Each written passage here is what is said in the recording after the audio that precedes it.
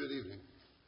Thank you all for being here tonight. I appreciate your presence, but I also know the Lord appreciates your presence, your desire to come and be with the, your, the fellow saints, to uh, share with one another in these songs, to hear the prayers and have your minds directed by them, and hopefully to hear something from the Word of God that might be helpful to you. It's been a very quick week for me. I know that many of you have responsibilities during the day, and uh, it's a tiring week for you because of either working or during the day or having uh, a lot of things to do and then coming in the evenings. And I appreciate very much. The attendance has been very good. The interest has been even better. You uh, have made Sandy and I feel very much at home. Uh, we are originally from Ohio, by the way, if you didn't know that. We uh, grew up in the Akron area, and yet uh, her family's from West Virginia and mine's from the Marietta area, so uh, we have a lot in common with some of the folks here. Uh, I appreciate very much uh, the hospitality we've been given, starting with the uh, the potluck on Sunday, and then on Monday being with uh, with Marcia and Eddie on Tuesday with Lynn and Linda, and today with Jeremy and uh, Christina.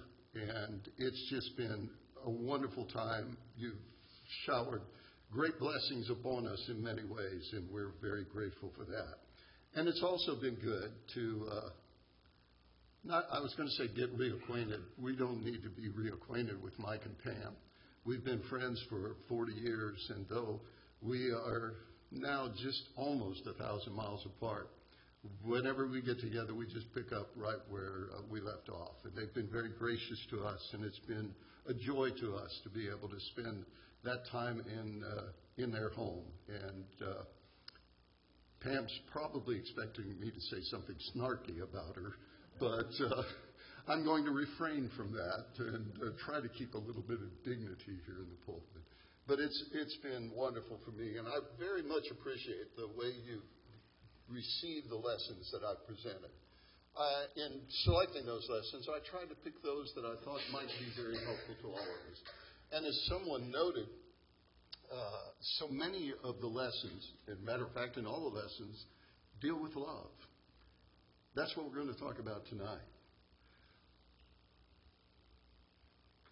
The Bible places upon us, and I hate to say the responsibility, but the opportunity to be those who love as God loves.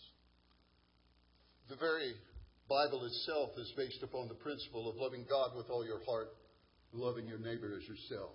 And I appreciate very much the songs that Tim selected that are going to, to talk about love. And it's interesting. While in the upper room with his disciples, just prior to being arrested, just prior to experiencing those illegal trials and ultimately his crucifixion. Jesus gave these men with whom he had spent about three years a new commandment. In John chapter 13, verses 34 and 35, he said, A new commandment I give to you, that you love one another as I have loved you, that you also love one another. By this, all will know that you are my disciples if you have love for one another. This, is, to me, is a very important passage. I realize all Scripture is important. God has preserved it for us so that we might have access to it.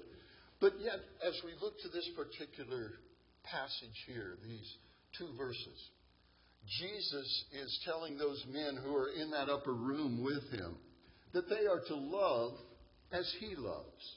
That's what makes this commandment new. And notice, he said, you need to do this, not only to love one another for the sake of love, but by this all men will know you are my disciples. You know, sometimes, and I can't speak for, for you, I don't know personally and intimately a lot of folks in this congregation. But I know places that I've gone, and even in our congregation back home, sometimes folks aren't characterized by love. And certainly not the kind of love that Jesus has. If we are going to impress the world, if we are going to be lights in the world, we have to have the kind of love that Jesus wants us to have. And notice he said, By this all men will know you are my disciples. There's something distinct about this. There's something unique about this. And it's something that we need to be concerned about. Not just those men who were with him at that time, but each one of us who claim to wear his name. We need to love as he loves. But if we're going to obey this commandment, we must know how Jesus loved. And therefore, the only way we can truly know that is to go to the Scriptures. Because it is the Scriptures that reveal Him to us, reveal His character, His qualities, His traits that allowed Him to live in the manner in which He did, to be that loving individual that He was and that He continues to be. We are to grow into the image of Jesus Christ. We are to be partakers of the divine image. And if we're going to do that, we must love as Jesus loved. But to find out how he loved, I really don't believe you need to look any farther than the same chapter that we've been looking to, John chapter 13, and look to Jesus' actions in that upper room. Because they displayed not only to those men, but to us also how Jesus loved. And that's what we're going to look at in our lesson this evening. Read with me John chapter 13, beginning in verse 1. Now, before the feast of the Passover, when Jesus knew that his hour had come, that he should depart from this world to the Father, having loved his own who were in the world, he loved them to the end. At supper being ended, the devil, having already put it into the heart of Judas Iscariot, Simon's son, to betray him, Jesus, knowing that the Father had given all things into his hands, and that he had come from God and was going to God, rose from supper, laid aside his garments, took a towel, and girded himself. After that, he poured water into a basin and began to wash the disciples' feet, to wipe them with the towel with which he was girded. Then he came to Simon Peter, and Peter said to him, Lord, are you washing my feet?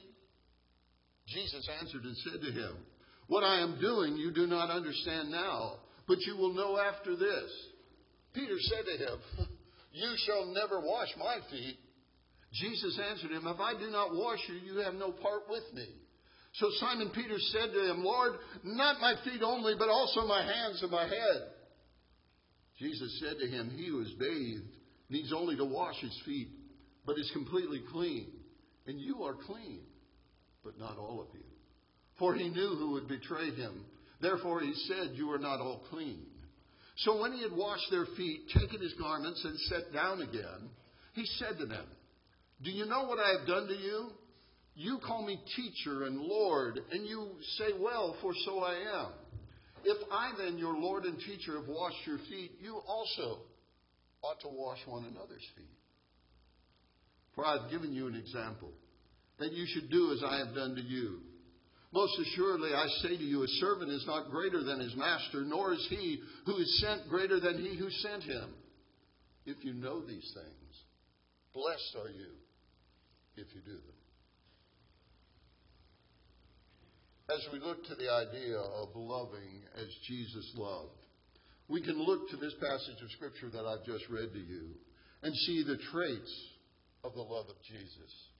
And the first one that we consider is if we're going to love as Jesus loved, we need to humble ourselves before others.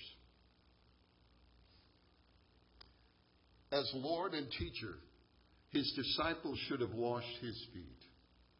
But Jesus humbly re- reversed roles.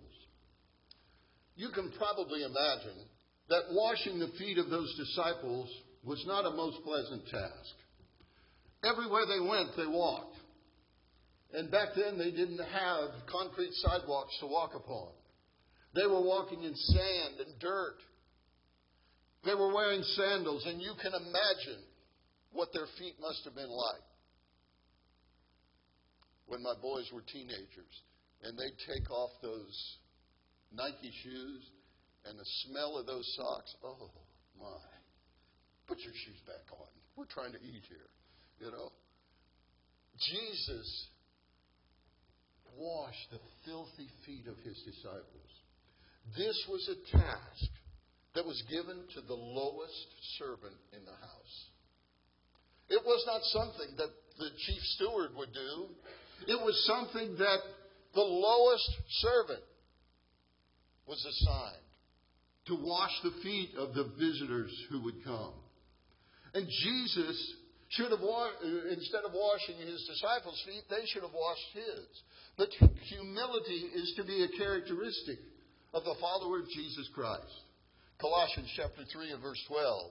Therefore, the elect of God, holy and beloved, put on tender mercies, kindness, humility, meekness, long suffering, right in the midst of all these things that we are to put on, qualities that we are to have as children of God, as disciples of Jesus Christ.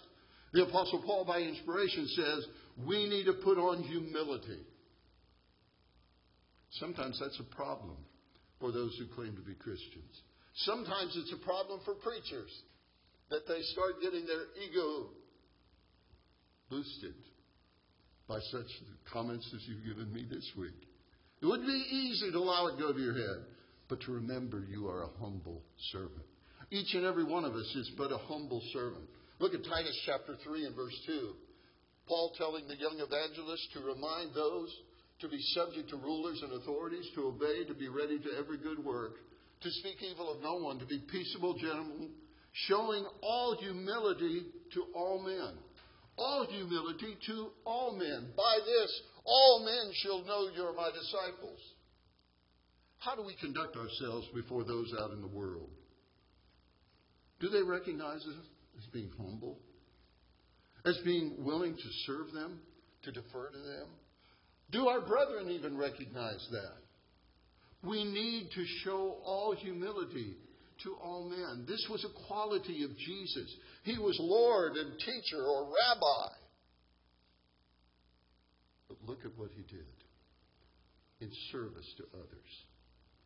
Such humility should cause one not to only submit to God, but also to one another. 1 Peter 5 and verse 5 Likewise, you younger people, submit yourselves to your elders. Yes, all of you, be submissive to one another. Be clothed with humility, for God resists the proud, but gives grace to the humble. We are to submit to one another, defer to one another, esteem one another better than self. We had a lectureship in uh, the spring, and uh, we were talking about the epistles of Peter. And when we came to 1 Peter 5 and verse 5, the or 1 Peter chapter 5, I should say, the lesson that we had was be clothed with humility. Well, the preacher who we assigned that task got up, and while he was preaching, took out from under the lectern an apron, put it over his head, tied it around his waist, and on the front of it it said, humility. We need to think of that. We need to be clothed with humility. It's that which we, that should adorn us every day. Not arrogant, not those individuals who look down upon others, but who esteem others better than self. And if we are humble individuals, we'll love as Jesus loved, because loving as Jesus loved involves serving others. You've served us very graciously this week, and we're very grateful for it. But I hope you serve one another in that same fashion. Consider verses 14 and 15 of our text. If I, then, your Lord and teacher, have washed your feet, you also ought to wash one another's feet. For I've given you an example that you should do as I have done. What has he done? Yes, he washed his feet. And there's some people who literally take it for granted that this text is telling that we ought to have a service where foot washing is done. That isn't what Jesus was teaching at all. What Jesus was teaching is humility, serving one another. As I have served you, you need to serve one another. Jesus came to this earth to be a servant. Look at Philippians chapter 2, verses 5, 6, and 7. Let this mind be in you, which was also in Christ Jesus, who being in the form of God did not consider it robbery to be equal with God, but made himself of no reputation, taking the form of a bondservant, and coming in the likeness of men, a bondservant. Jesus came as a servant. He came to serve. And he served even those who wouldn't appreciate it. He humbled himself, came in the form of man, in the form of servant, to serve other people. Matthew 20 and 28. Just as the Son of Man did not come to be served, but to serve and to give his life a ransom for many. That's our Savior. That's the way our Savior loves.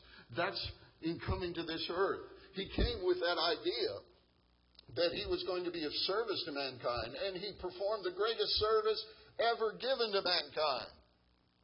His sacrificial death on the cross, his life, a ransom for many, that gave hopeless man hope of having his sins forgiven or remitted, taken away, being able to have a relationship once again with God,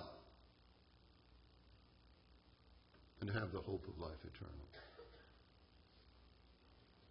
The Christian is a servant who is to serve.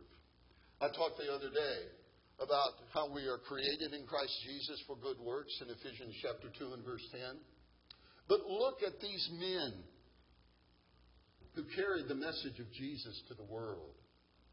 As we look to the words that they have written by inspiration, Paul, James, Peter, and Jude in their epistles all referred to themselves as bondservants, just as Jesus was a bondservant. They were that understanding of how lowly and how humble they needed to be. And as Christians, to properly love God and one another, we must develop a servant mentality. One of our brethren, Tim Jennings, wrote a song that's called the Servant Song. And it starts out, Make me a servant. And it ends up, just like your son. We need to be serving one another. We need to be serving the Lord. Matthew chapter 25. We often talk about the judgment and the things that will take place on that day, and we'll be judged by the things that we've done in the body, we're told, whether good or bad. But Jesus depicts the judgment in Matthew chapter 25 and notice what he says. When the Son of Man comes in his glory and all the holy angels with him, then he will sit on the throne of his glory. All the nations will be gathered before him. He will separate them one from another, as a shepherd divides his sheep from the goats. He will set the sheep on his right hand, the goats on the left. Then the king will say to those on his right hand, Come, you blessed of my Father, inherit the kingdom prepared for you from the foundation of the world. For I was hungry, you gave me food. I was thirsty, you gave me drink. I was a stranger, you took me in. I was naked, you clothed me. I was sick, and you visited me. I was in prison, and you came to me. Do you notice how much of that is related to serving? Then the righteous will answer him, saying, Lord, when did we see you hungry and feed you, or thirsty and give you to drink? When did we see you a stranger and take you in, and naked and clothe you? When did we see you sick or in prison and come to you? And the king will answer and say to them, Assuredly I say to you, inasmuch as you did it to one of the least of these my brethren, you did it to me. I want you to stop and think of the person that may be a member of this congregation or some that one that is visited from time to time, or someone that's to be a Christian from your past. And I want you to think of the weakest Christian you've ever known. That's the least of these, my brethren. And I am to be of service to that individual. I'm to be a source of encouragement to them. I'm to be a source, possibly, of correction to them. That's helping them, that's serving them. But sometimes we're only concerned about those who are strong in the faith. And we identify with them and we associate with them.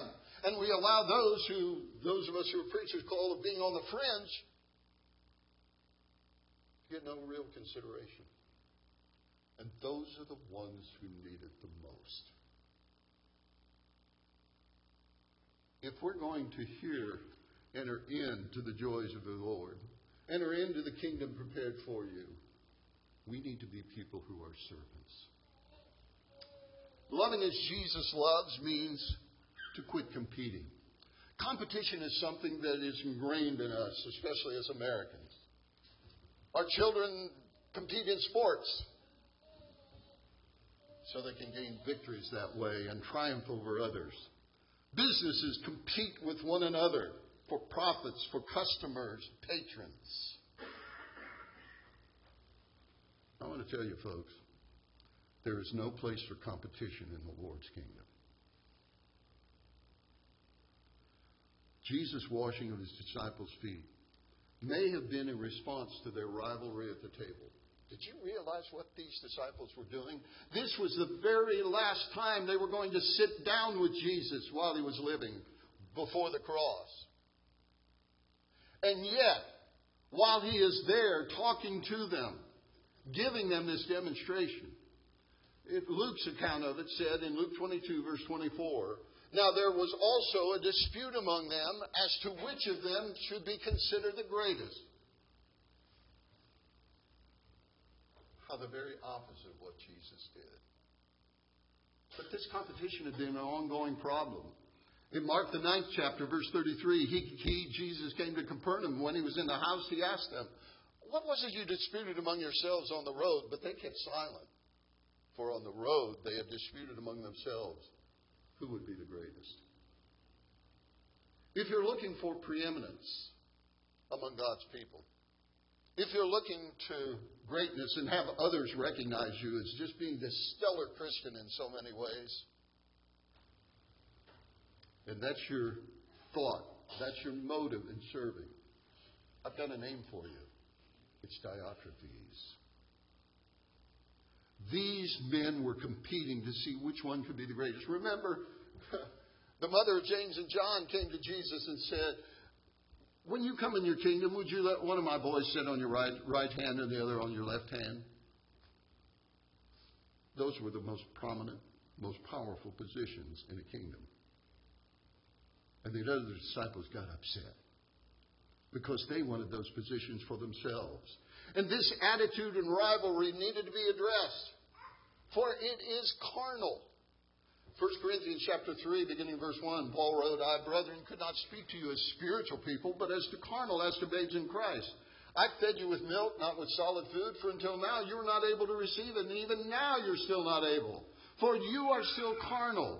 Where there's envy, strife, and divisions among you, are you not carnal and behaving like mere men? Anytime we see these things in a congregation,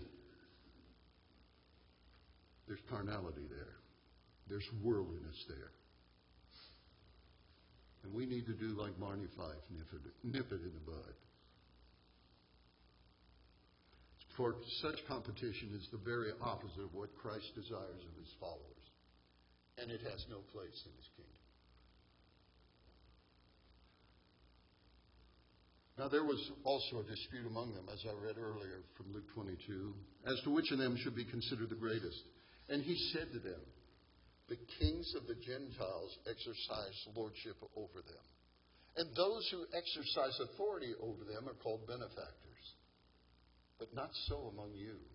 On the contrary, he who is greatest among you, let him be as the younger, and he who governs as he who serves. For who is greater, he who sits at the table or he who serves? Is it not he who sits at the table? Yet I am among you as the one who serves. What's Jesus saying in reality? The younger. I can remember when I was growing up, sometimes in our society things have changed a little bit. When we had a family dinner and all the extended family got together, it wasn't the kids that were served first, it was the adults. And the kids waited. And they had their own little table that they sat at in the kitchen, and the rest of the family was in the dining room. The younger were respecting the older and serving them. He who governs is he who serves. I've been an elder in the church for 25 years. Somebody said, oh, it's a position of honor. In a way, it is. but in reality, it's a position of service. And you are blessed that you have two elders who serve you and have that attitude of heart to do what's best for the congregation, to, be, to do what's best for each individual who comprises this congregation. And that's because of this attitude. Not to seek notoriety, not to seek preeminence, but to just serve and be the one who is servant of all. Christians are to esteem others better than self, to give preference to one another, as recited from Philippians 2. Let nothing be done through selfish ambition or conceit, but in lowliness of mind, let each esteem others better than himself. Let each of you look out not only for his own interests, but also the interests of others. We live in a society where the emphasis is on me. I'm part of the baby boom generation. And back in the 90s, well, really the 80s and 90s, they don't do it so much anymore, but they called us the me generation because everything was about me. everything was aimed toward me. We can't have that attitude as children of God. We need to think of others. Romans 12 and verse 10 Be kindly affectionate to one another with brotherly love, in honor, giving preference to one another. Do I do that? Do I think of others before I think of self? Loving as Jesus loves mean, means to correct one another in love. It was out of love for those disciples, I believe, that Jesus addressed their problem. If a Christian truly loves, he'll be concerned when he sees a brother or sister who is faltering. Instead of saying something like, Well, I knew they were no good, I, I knew they wouldn't last. Oh, they're just so weak, their mind's on other things. And we just want to write them off. If we love as Jesus loves, we can't do that. Parents who properly love their children will correct them as needed. And Christians are to encourage the weak, seek to restore the fallen. Galatians 6 and verse 1 Brethren, if any man is overtaken in any trespass, you who are spiritual, restore such a one in a spirit of gentleness, considering yourself, lest you also be tempted. That's that humility coming back again. And notice he said, You who are spiritual.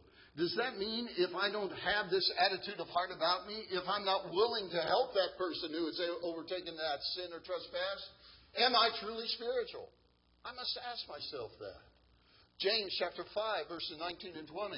Brethren, if anyone among you wanders from the truth and someone turns it back, let him know that he who turns a sinner from the error of his way will save a soul from death and cover a multitude of sins.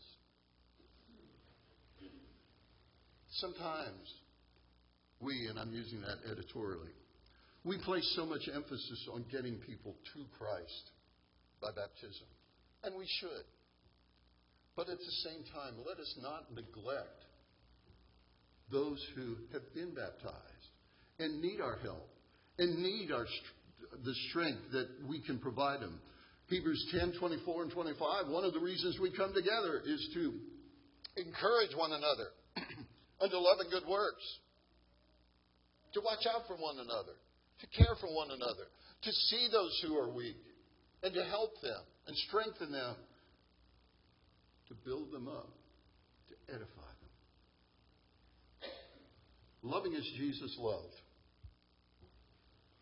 means letting others love us. Now, that might sound a little bit selfish, but understand what I mean by this. Peter at first refused to allow Jesus to wash his feet. Did you ever wonder why Peter was last?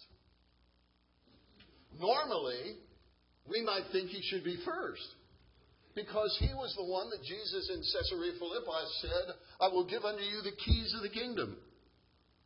And Peter was the one who preached the gospel in its fullness for the very first time on that day of Pentecost recorded for us in Acts chapter 2. Peter always seemed to be a leader among the disciples. But why did Jesus go to him last? In the configuration that they were in, it wasn't a table like we think of. It was actually a U shaped table, okay? And at the top of the table was the host, and that would have been Jesus. On one hand was the most prominent guest. That was the disciple whom Jesus loved, John. On the other hand, here was Judas. If you went around the table, the lowest individual would be at the bottom of that leg of the table, the very last one to be served. Peter was in that position at this table. And he realized that what Jesus was doing was a task that only was given to the lowliest servant in the house. Maybe he thought it was a test to see how he would act or react. And that by refusing Jesus' actions, he would pass that test with flying colors. Oh, you're Lord. You're the teacher. You're the rabbi. But if that's what he thought, he was wrong.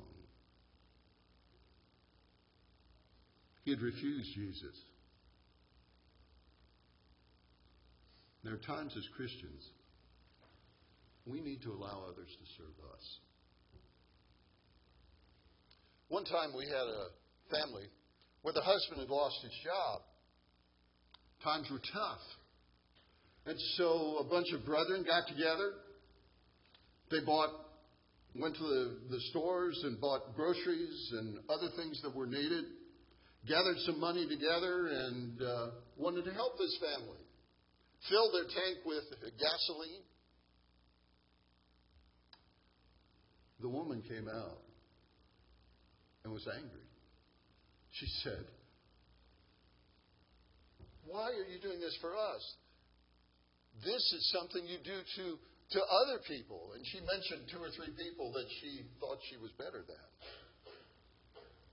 She refused the help that we wanted to give.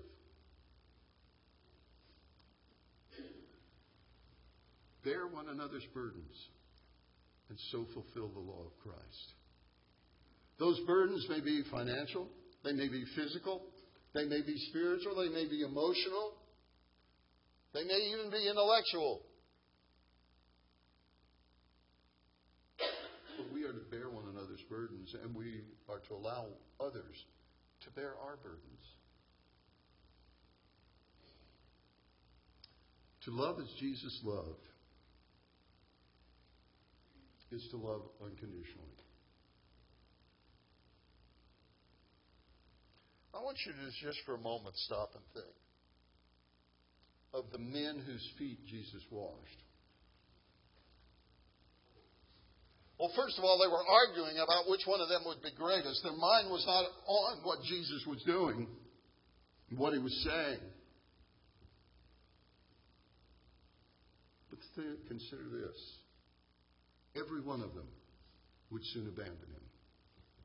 At his arrest, they all fled.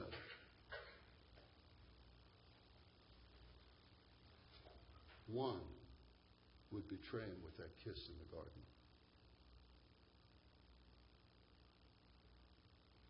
One would deny him. Not once, but three times. These were the men whose feet Jesus washed. And my friends, Jesus knew exactly what they were going to do. He knew that Satan had placed in Judas' heart to betray him. He knew that Peter was going to deny him three times before the cock crew. He knew all those things. Yet, he stooped and washed their feet. You know what that lets me know? We do not have the right to pick and choose among brethren as to whom we will love or not love. This very Apostle Peter told us, in love of the brethren, be tenderly affectionate one to another. I don't have the right to just pick out a few that I'm going to love. I must love my brethren. I must esteem my brethren better than self. I must love as Jesus loved, for he loved unconditionally. He manifested his love toward all of these men in spite of their failures, in spite of their leaving him.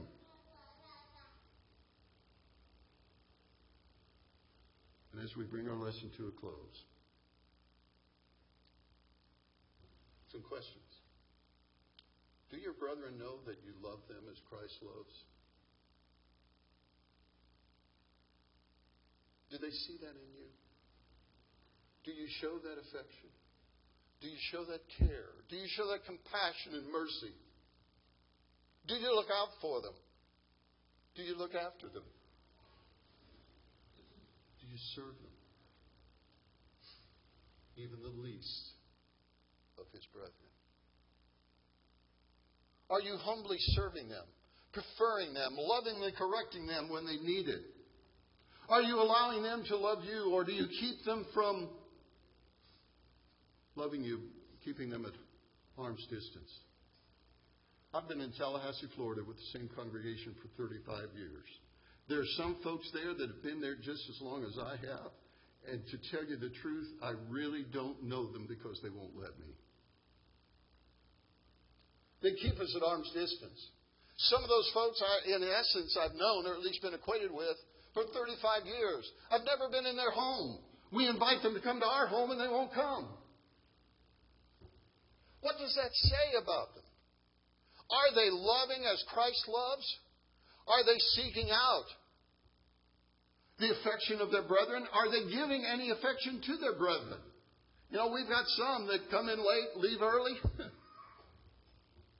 there have been times when I've gotten done with the invitation and I know they leave at the end of the invitation. I almost run to the back of the building and run across the parking lot, and sometimes I feel like tackling them.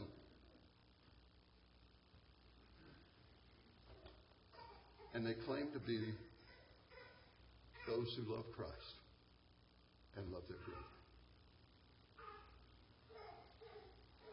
Greatness in the kingdom and the salvation of the soul comes by loving and serving as Christ loves and serves. And if you don't take anything else away from the meeting we've had together these past few days, Please remember this. Because it is so vitally important to your spiritual well being. I said earlier in the week, you can't have a proper relationship with God unless you have a proper relationship and attitude towards your brethren. And that's what Jesus is teaching. By this, all men will know you are my disciples if you love one another as I have loved you. Do you love your brethren as Jesus loves them? Are you willing to serve them? Are you willing to share with them your life as you share with the Lord? It's so important. In 1 John chapter 4 and verse 8, we are told that God is love. Doesn't say that God is a loving God. Does it say that God loves certain people? It says God is love. When we love as we should, we are more like God than at any other time. And we take on His qualities, the qualities of His Son, and the qualities that we are to have as followers of Jesus Christ. And if I don't have that kind of love, I'm in a sad state. Because my salvation depends upon it. Is it always easy to love your brethren? No. I understand that. Some can be, as my dad used to say, pretty contrary hard to get along with, may not appreciate you. Preachers know that all too well. But look at Jesus. His love was such that even those who despised him, he still loved. Do you love him enough tonight to come to him if you have not been found in him before? Tim has selected the song Being Born Again. Nicodemus, a ruler of the Jews, came to Jesus, wanted to know what he needed to do to have eternal life, in essence. And Jesus told him, he must be born of water and the Spirit in order to see the kingdom of God. Water, that watery grave of baptism in the likeness of Christ's death. Spirit, being directed by the Spirit given word to do those things that Christ would have you to do, to be found in Him. That's all we're offering tonight. That's all we can offer. Because it's His gospel that is the power unto your salvation.